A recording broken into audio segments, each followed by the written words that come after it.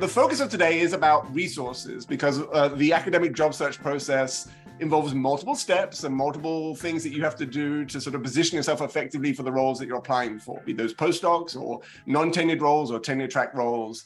Um, and so I, I want to make sure that you have access to those resources because they are going to be helpful to you. They're going to be helpful to you in addition to the advising that, that our uh, career services can offer you um, uh, as part of that process.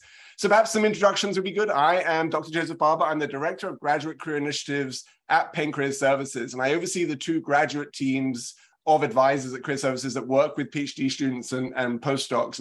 First things first, and I think this is important, is that um, as a PhD student or a postdoc, uh, I do want to acknowledge the fact that you are going through a process which is not easy, a challenging uh, academic program in a challenging job market. Um, and I want to uh, sort of assure you and reassure you that you have wonderful skills, wonderful stories about your research to tell, that you are competitive for the faculty jobs that are out there, and that the lack of opportunities in terms of numbers of jobs in your field is no reflection of your abilities and your skills and your research and your dedication to what you're doing. And so I know it is challenging. I know the job market has not rebounded and may not ever rebound in the way uh, and I know that we work with PhD students all the time who are pivoting and leveraging their skills in different directions as they need to. But all of these things that I put up here are true. And I wanted to sort of give you an energy boost today to say that you are amazing in the work that you're doing. And we appreciate that work and, and want to support you in those decisions that you are, or those steps that you want to take in your career. Um, so here's what we're going to cover today, right? So an overview of resources are going to help you with these sort of four main areas for your uh, faculty job search in general terms. If you've been to one of our sessions before, you'll know that we're always going to be talking about networking. It is a foundation for some of the steps that you want to take. So I'm going to give you resources to support you in your academic networking, which is a thing that actually does happen and is important. Um, materials is a thing that I'm going to be talking about again tomorrow when we talk about creating a cohesive application packet. Uh, but I'm going to touch on resources today that are going to be helpful to you. And then interviewing and negotiating, I'm going to mention just one or two resources that are going to be beneficial for you uh, in, in that context as well. So where are you in this process, right? So it kind of depends on your discipline. It kind of depends on, on the journey that you've taken thus far. If you're a PhD student in STEM, then you may be looking for a postdoc. If you're a PhD student in the humanities, you may be looking for a faculty position, but there may not be many full-time tenure track roles that you are uh, finding in the job market. So a postdoc or a visiting assistant professor position or a non-tenure position. These are all things that are uh, that might be out there each of these sort of steps and each of these destinations requires a slightly different approach in terms of understanding the value that you bring, the skills, the impact of your research, how you can talk about your teaching, whether teaching is prioritized or not. Is it a research intensive institution? Is it a teaching intensive institution? So there's a lot going on here that I think is important to sort of realize that um, you know these things can affect the, the process that you're, ta- that you're taking and, and how you position yourself. And really, this is the journey that you are all on as part of this um, uh, application for academic jobs, right? So wherever you are, whether you're applying this year or hoping to apply next year, really try to understand what faculty careers mean and represent and look like, not just at an institution like Penn, where you are right now, uh, but at an institution that might be very different, different types of institutions, different sizes, state level, private ones, uh, liberal arts, right? You need to sort of have a full understanding of what these institutions are and also how they value your research and your teaching approaches because they will value them slightly differently.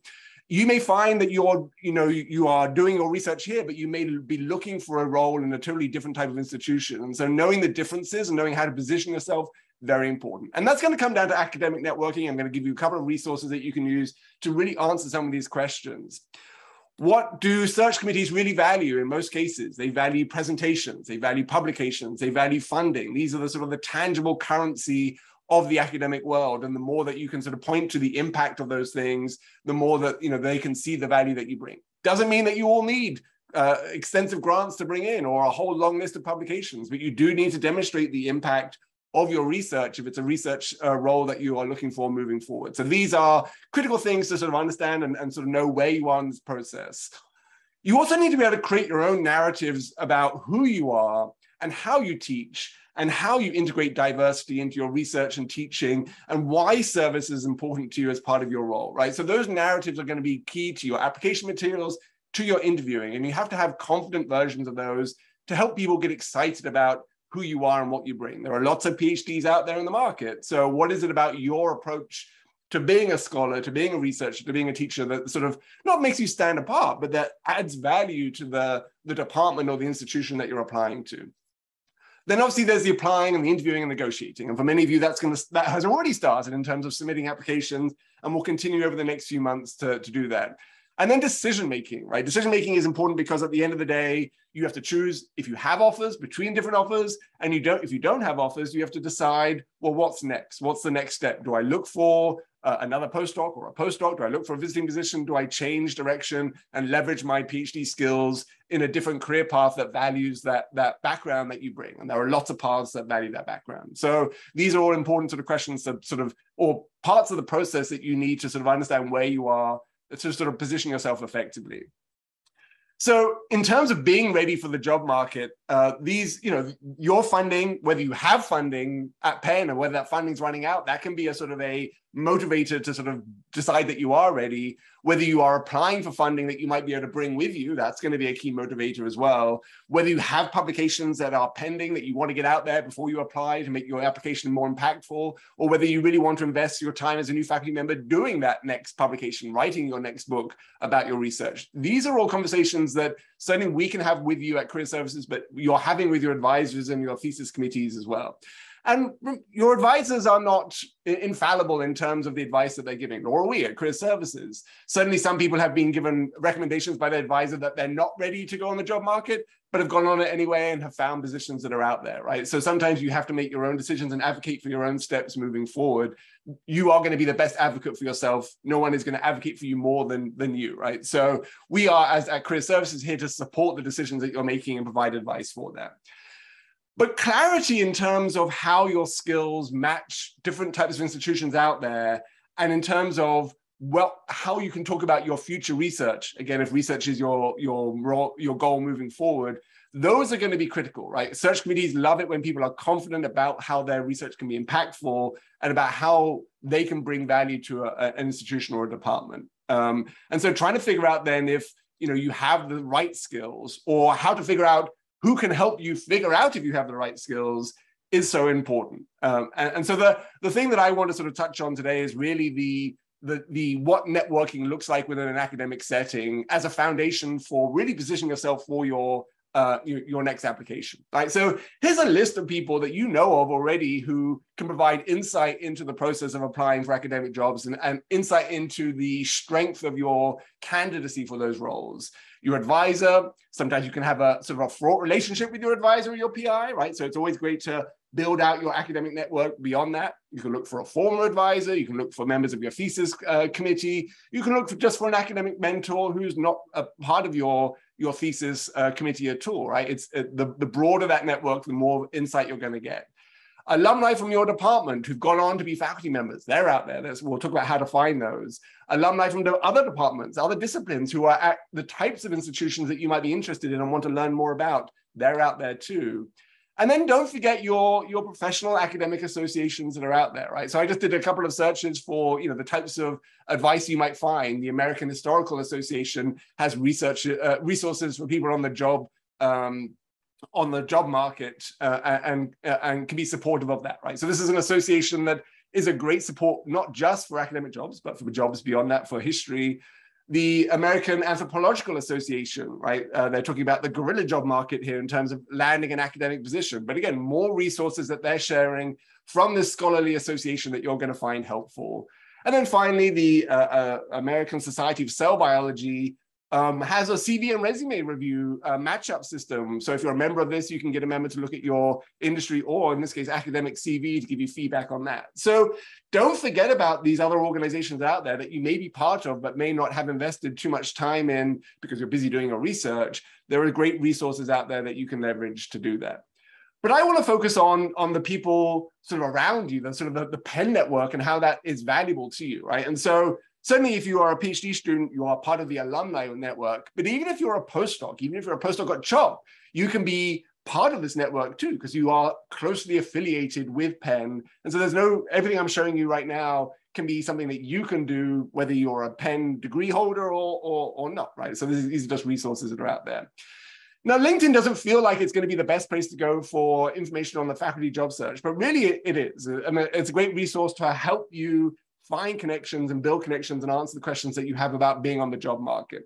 So what I've done here on LinkedIn is I've gone to the University of Pennsylvania school page. And once you get to this page, you can see this alumni, alumni tab here. And I've clicked on alumni. And then I can do a search by where the 197,000 alumni that, that are listed in this typically where they live, where they work, and what they studied. And I can also do a keyword search as well. And so what I did in this case, I took the 197,000 and I did a keyword search for professor, which is a great keyword because there are a few other jobs that have the word professor. Um, and there are 15,000 people who had the word professor associated with their with their experience, right? Somewhere in their profile that's sort of brought up in terms of one of the roles that they've had, their current role, and a previous role, uh, and so on. You can see there's about 3,000 of them in the greater Philadelphia area. And then on the right, you can filter that down by, by uh, what they studied, right? These aren't a direct match to what's happening at Penn. These are broader than just the, the Penn environment, but you can see history there with a thousand, economics, biology, psychology. So you can find faculty members who are Penn alumni, who are who've studied in your field on LinkedIn, and I'll sort of explain why you want to find these people in a, in a second. But first of all, I want to show you the mechanics of that. So these are just some of the people that came out from that search when I did that, right? And what you can see is who they are, you can see what they studied, you can see when they graduated, you can see where they are right now. You can also see how you're connected with them on LinkedIn, right? So these are all second degree connections for me. I don't, I'm not connected with them directly on LinkedIn, but I know in some cases for Riley, I know four people on LinkedIn who know Riley, right? So if I wanted to start a conversation, there's four avenues that I can use to do that that are going to be helpful, right? So each of these people has information about their role, about their journey, about their lived experience, about how they were successful at positioning themselves. Sometimes they don't know how they were successful, they just know that they were, but they might be able to give you insight into that process. Each of these can be a great contact uh, for you to learn about an institution that you don't know much about. But let's take a sort of a subject area, right? So I said there's about a thousand history professors who are Penn alumni, um, I did a search for those, and, and then you can see that there's a diversity of people in different roles that might have insight for, uh, for you. An assistant professor at NYU, an adjunct professor, a couple of visiting professors, a term assistant professor, so a non-tenured role, and a postdoc researcher doing sort of uh, academic research at, at, sort of in, a, in an adjacent um, research facility here, right? So your goal obviously might be to get a tenured role, but understanding the nature of these roles, understanding the challenges and successes that these people had in getting to where they are, understanding how they are leveraging their visiting positions to hopefully get a tenured position, all of that is information that you don't yet have, but can really build on as part of your own job search process, right? So again, each of these people can have answers to questions that will be helpful to position yourself more effectively for the roles that you're interested in.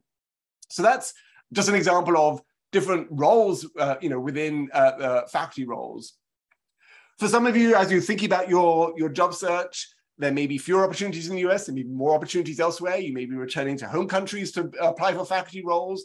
Don't forget that you can also search by geographical location uh, when I was doing showing you that alumni table.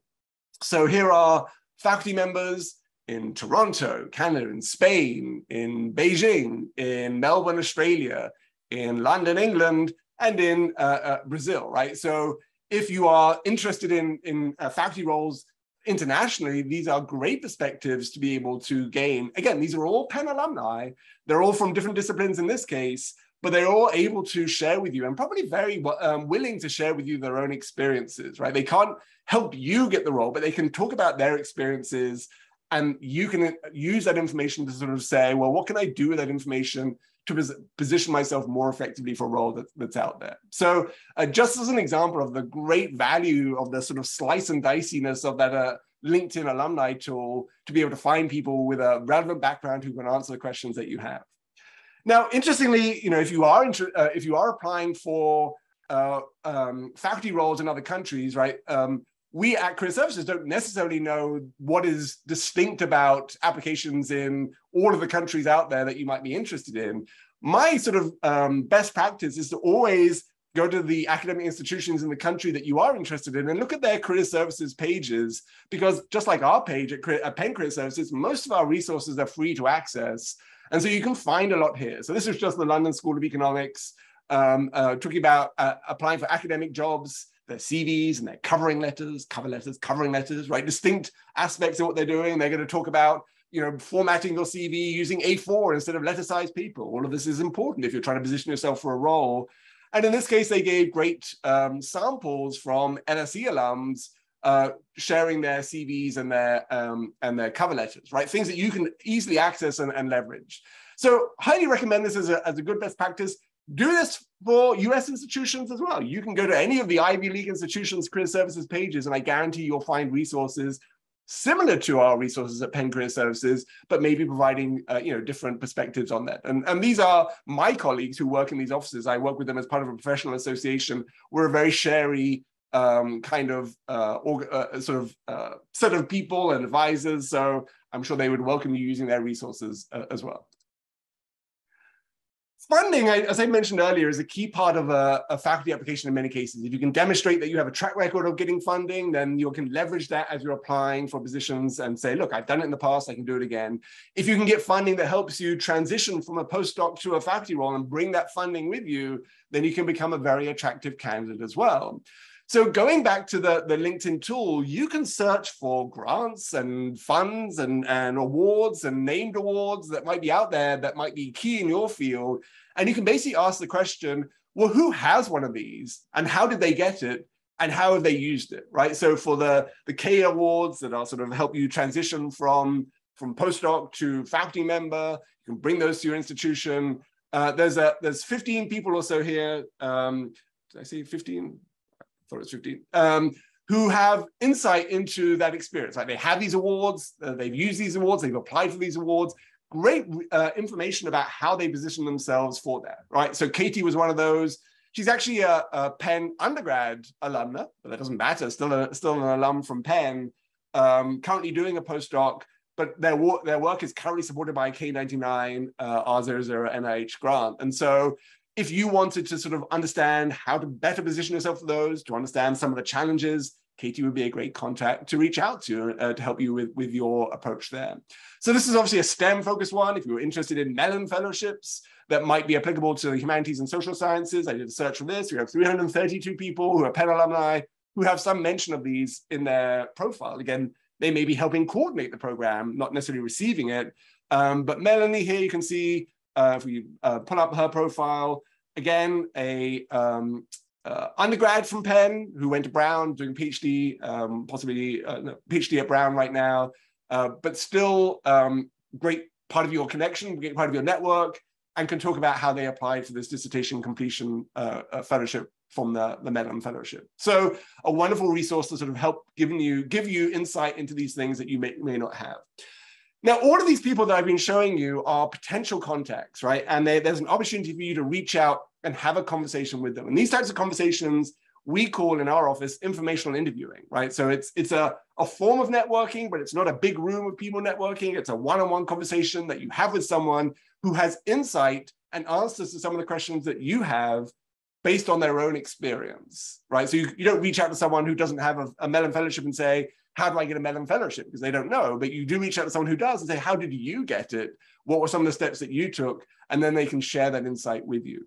This is a resource again that's in our uh, the links that I'm sharing in the chat right now. Again, just to sort of so that you have access to that. It's an easy to read guide. It's going to give you examples of questions that you can use. Um, and these are some of the questions that might be relevant to you know academic understanding the academic um, landscape, understanding the funding landscape that, that may be relevant to you. Obviously, you can ask many more questions than this. These are just examples of, you know, how did you talk about your research when you're applying to different types of institutions? I see that you were at Penn, but now at a small liberal arts. What did you have to do with your research to position yourself?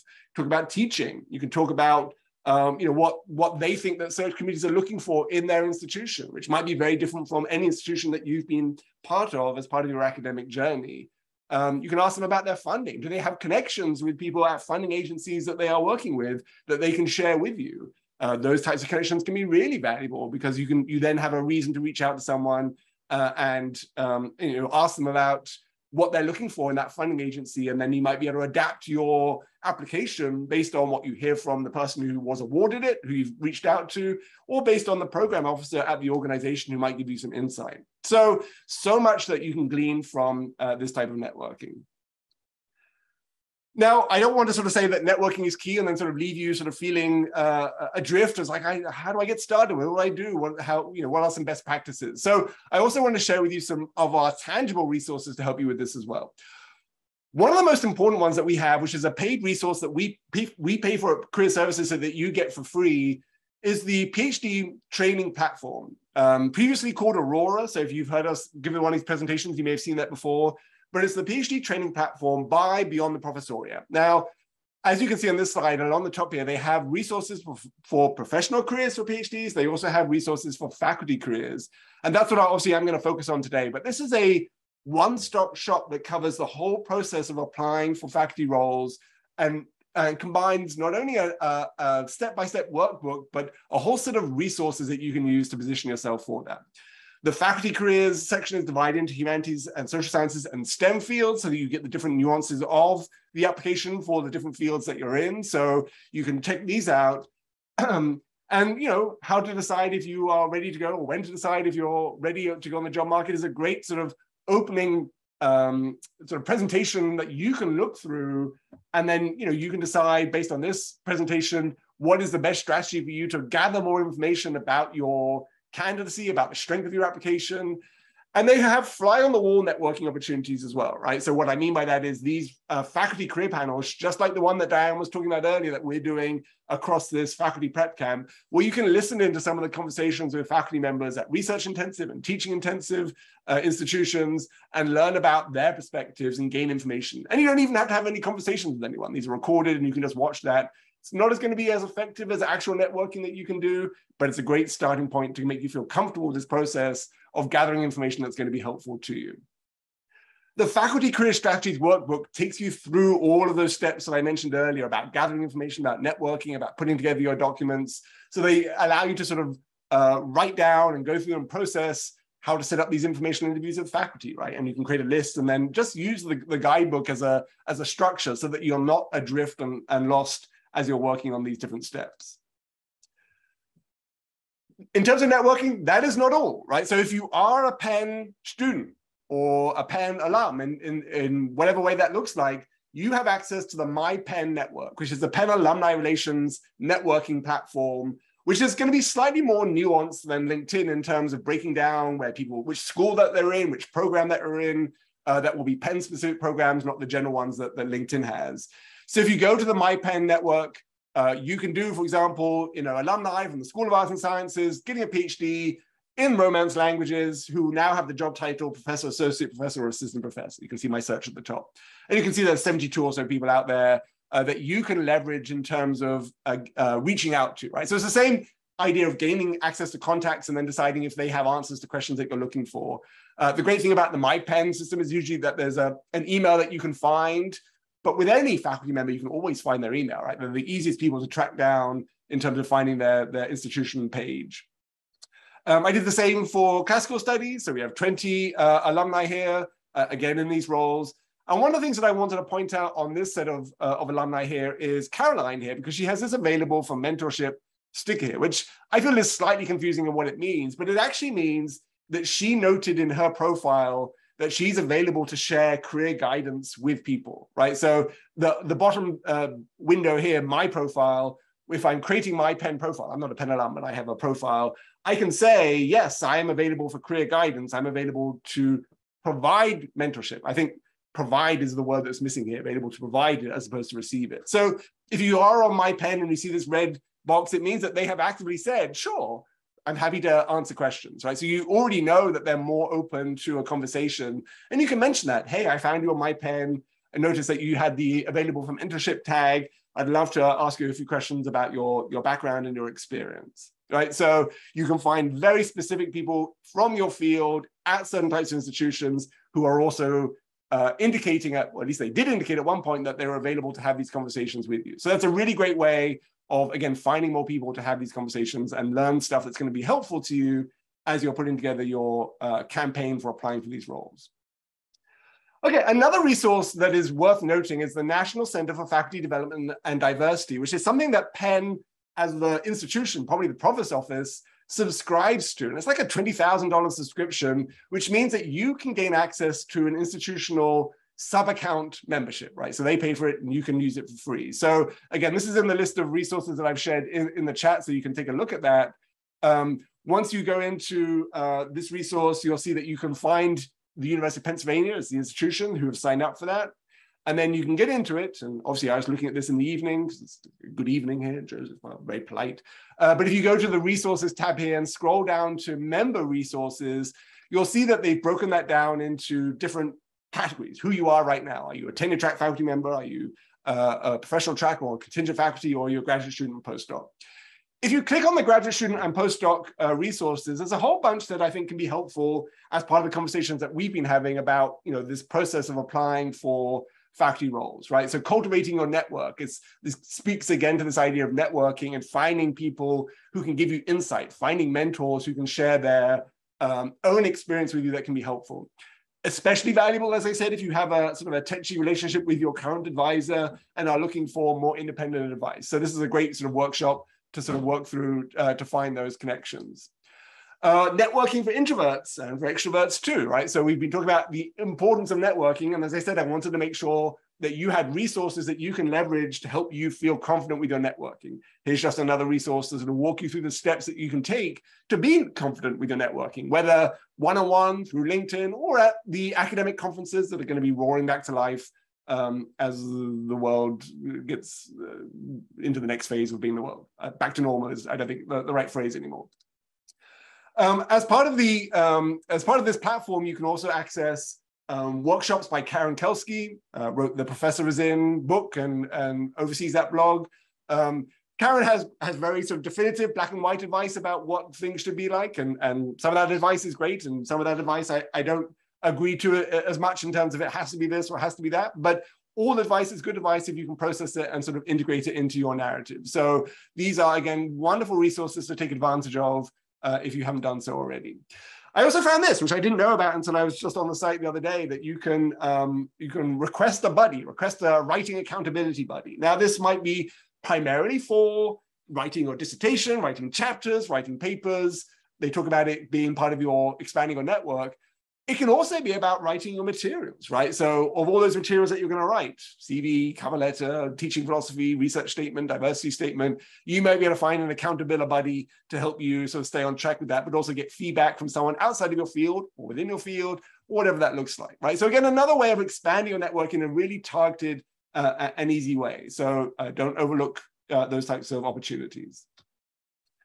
Which does bring us nicely then to the application materials and resources that I can share about those application materials. I'm going to go into slightly more detail about some of these materials tomorrow in the cohesive application package workshop, but these are the general ones that you're going to be sharing as part of your applications. Research statement, teaching philosophy, CV, uh, a diversity statement of some form, uh, and then you know the, the, the broader cover letter that encompasses all of these things uh, sort of is a, a, another document. And then there's actually a few more that uh, can come up um, which I obviously didn't list here, but uh, things like uh, statement of faith, uh, writing samples, you know, these are things that uh, are additional, but, you know, much rarer in terms of, of the application process.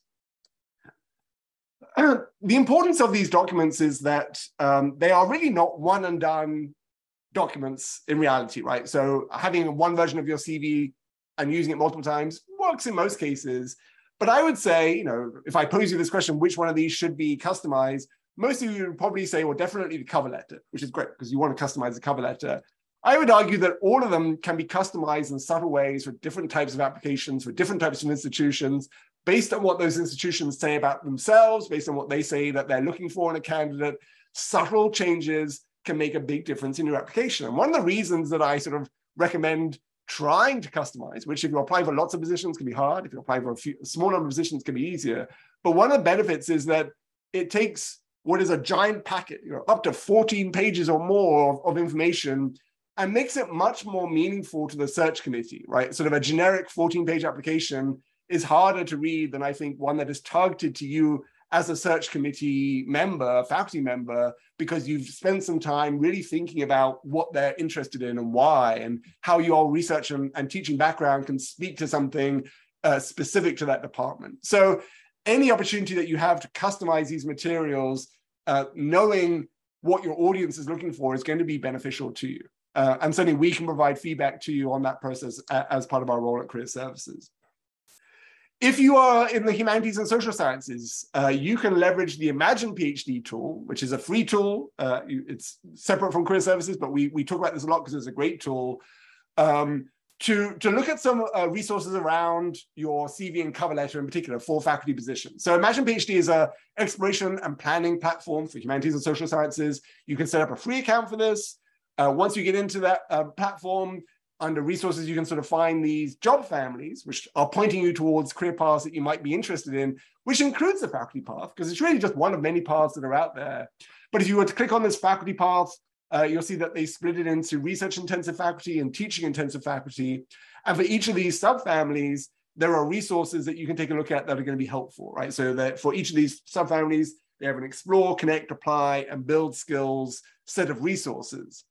Under the apply resources, you click on this, they have annotated uh, sample application materials, a job description, a cover letter, uh, and a CV that you can look at, right? You can they, they sort of annotated the job description to say these things are important, and then they've annotated the CV in particular to demonstrate where they've touched on those things as well. So these are just a couple of examples. Uh, you can certainly look at those for both the teaching and research. You can even look at those if you're not even a humanities and social sciences person, just to get an idea of how they've recommended customizing, uh, you know, the, the materials subtly towards that uh, job description. So great resources to take a look at as part of that one.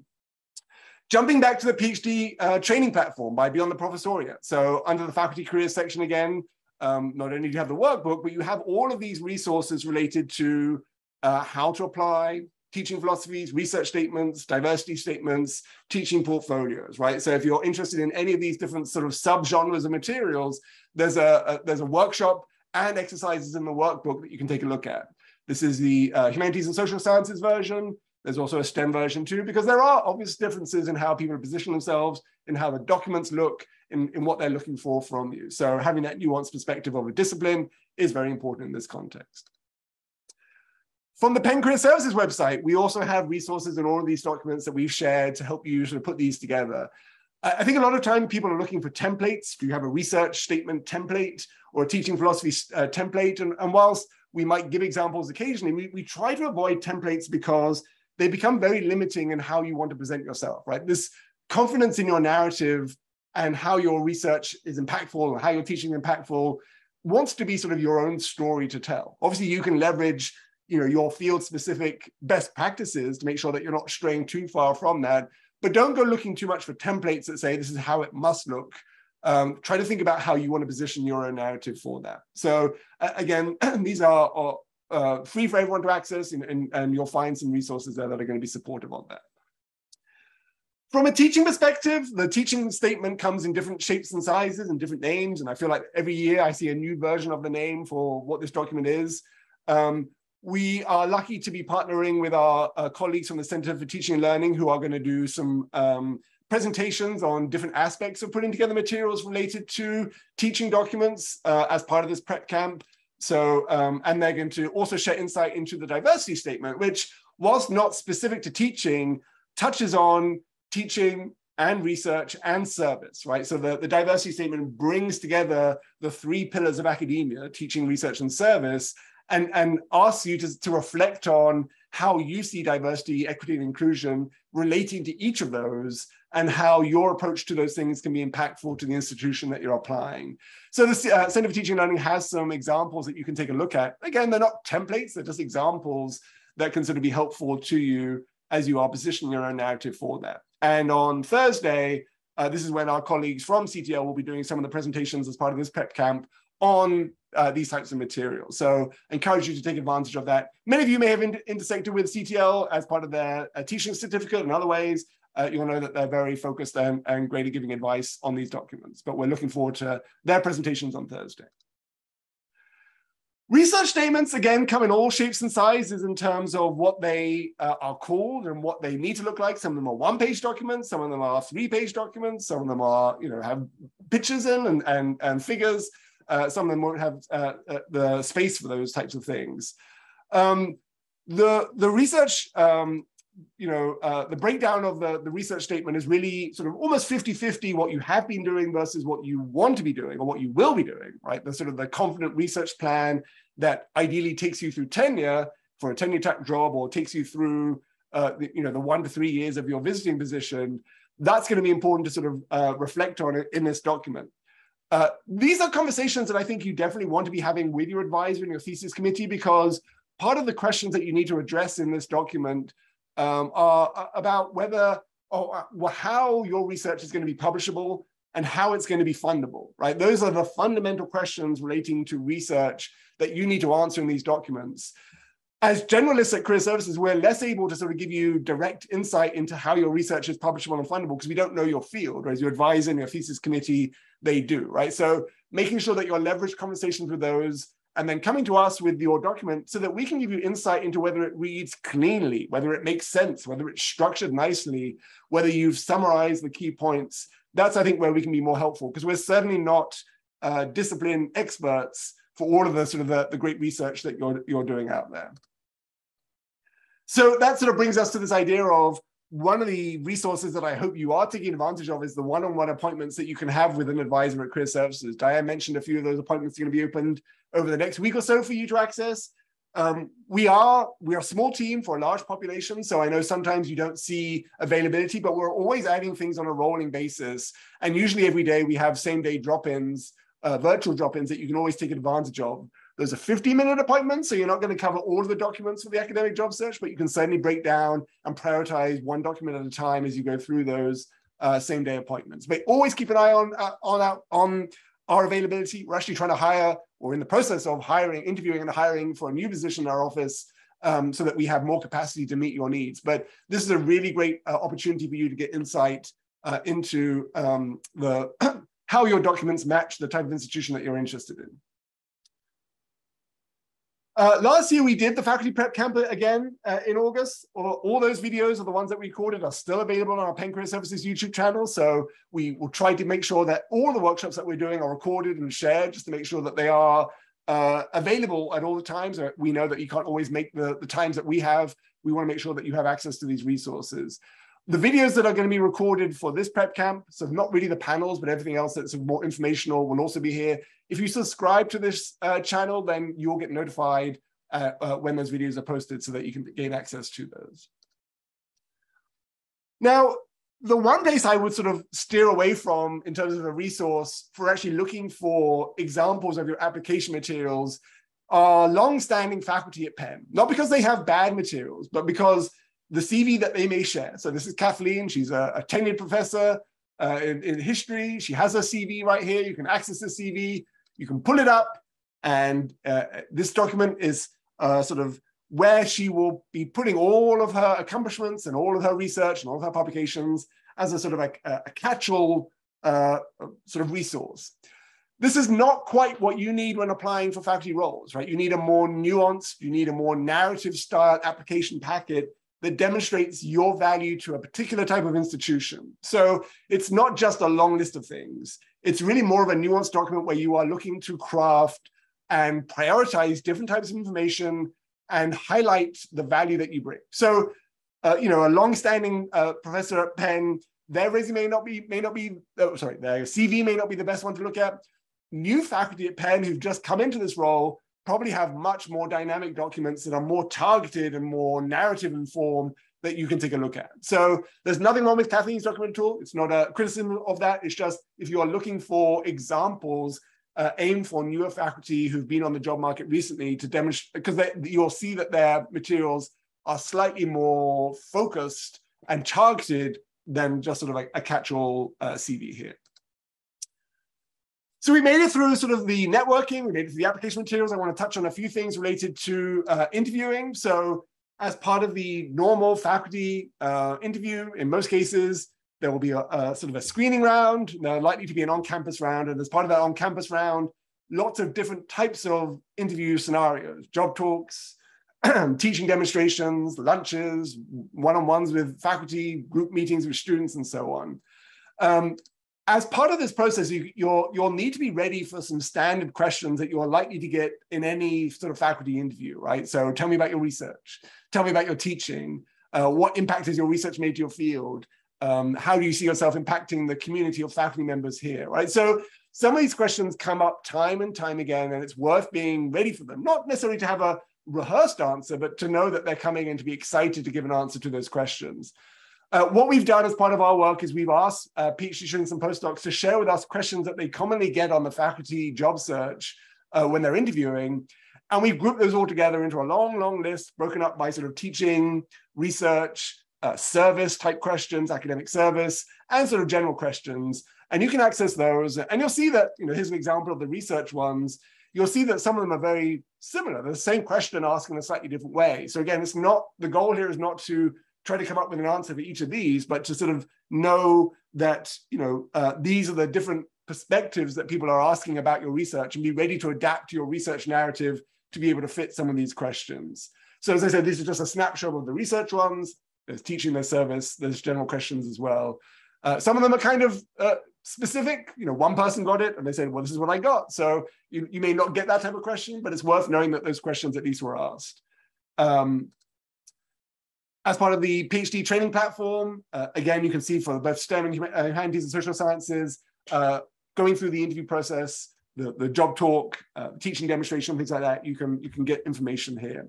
Now, the one question that's always the hardest that people say that they get when they do on-campus interviews is the one-on-one uh, meetings with faculty where they don't actually ask you any questions, but they say, so what questions do you have for me? Uh, and then you have to sort of lead and run the show in terms of making sure that you're asking good questions that promote answers, then then allow you to respond to to be able to share information about yourself that you would have given if they just asked you questions. So there's a strategy involved in some of these uh, um, interviewing scenarios. We're happy to talk about those uh, in our one-on-one appointments with you as well.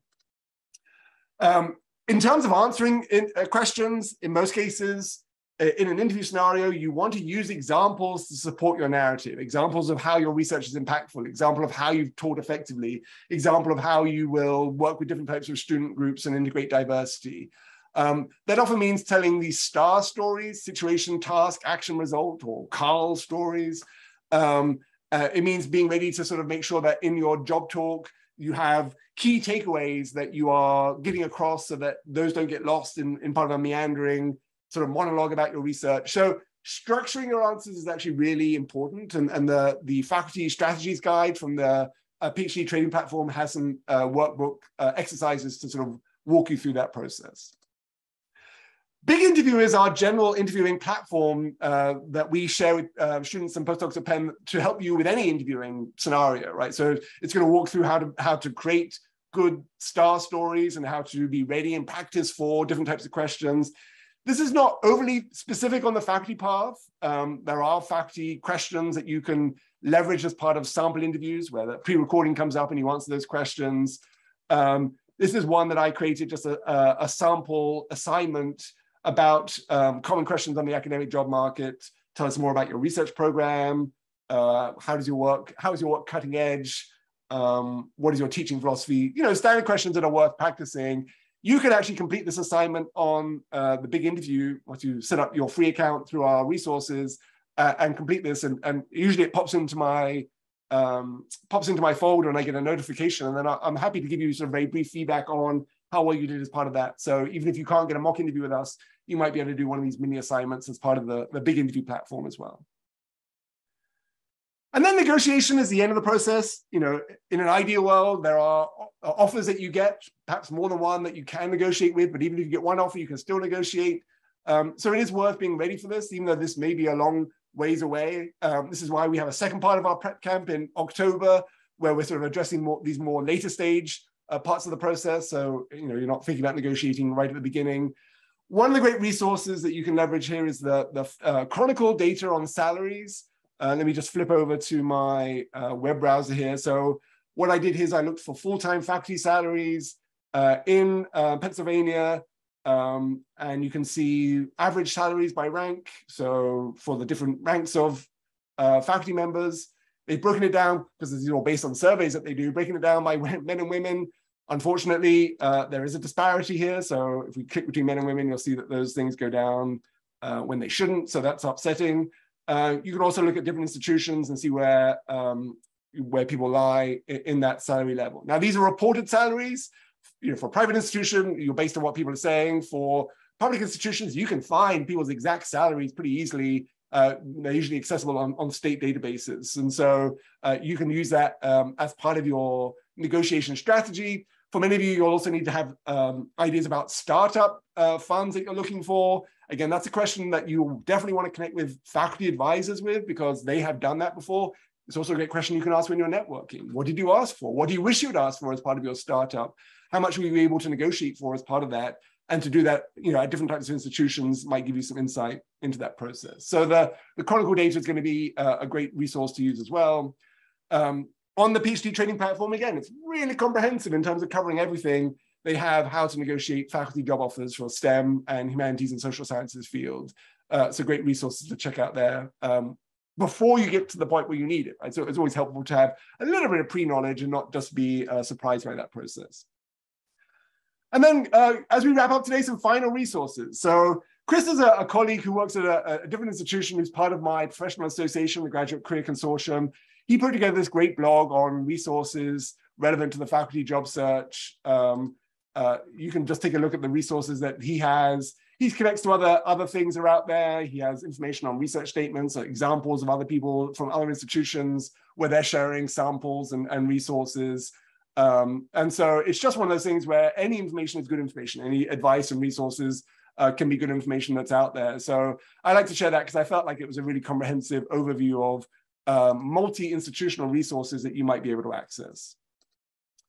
The Penn Career Services YouTube channel, again, this is where these videos are going to be posted. This is where the faculty prep camp videos from last year are posted. This is where all of our videos, a lot of which are focused on graduate students and postdocs, are posted for applying for faculty roles and pivoting your uh, your process. So do please subscribe and follow um, because you'll get notifications related to that.